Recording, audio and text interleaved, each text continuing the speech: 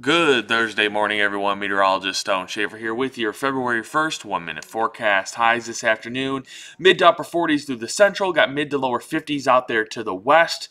Uh, won't beat our records today, unlike yesterday, where almost every city probably beat their records. That sun really helped us warm up into the afternoon. Uh, Precision Cast is showing us not much today, but as we get into tomorrow, that's where we see that trend of cloudier skies and rain chance sort of push itself in. We'll have that rain on and off for Friday. Still pretty light. We get into Saturday, there's going to be a rain chance out to the west, southwest, even south central. Uh, but as we get into Sunday, that more consistent rain looks to have shifted a little farther west uh, than anticipated.